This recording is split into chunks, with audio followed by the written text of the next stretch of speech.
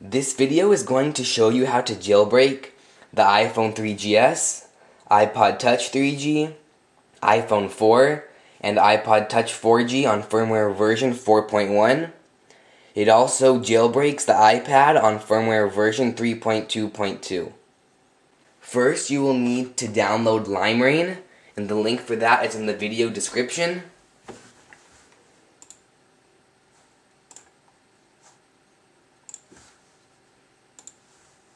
Then run Limera1n.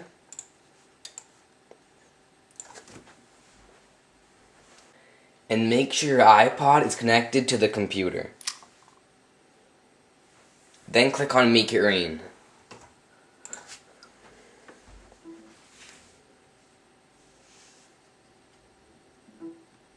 Now hold the home and power buttons.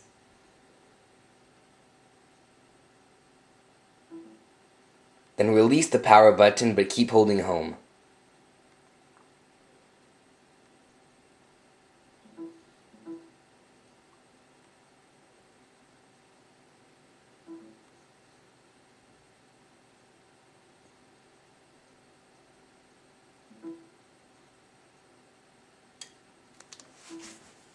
And now it's jailbreaking your iPod.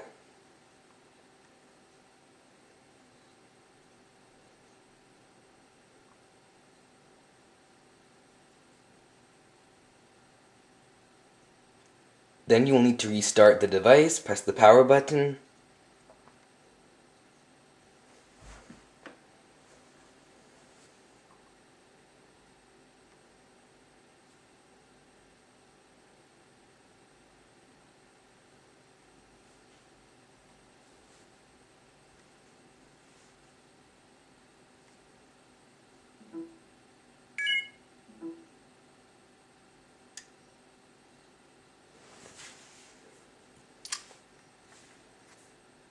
And now you will see Limera1n. Open Limera1n. Tap on Cydia and click install. Now it's downloading Cydia to your iPod.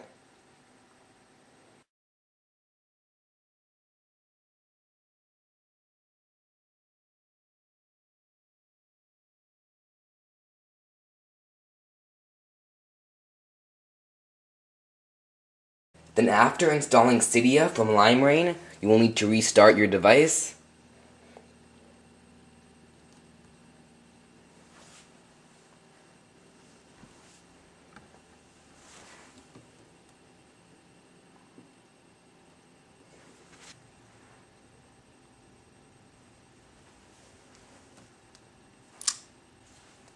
And now Cydia is installed.